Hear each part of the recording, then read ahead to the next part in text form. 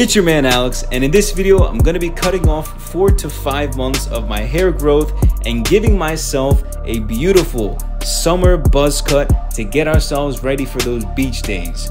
If you guys are interested in watching the full video, it will be posted tomorrow, Saturday, June 11th at 9 a.m. Eastern Time. If you want to learn the full tutorial on how I did it, definitely stay tuned for tomorrow's video.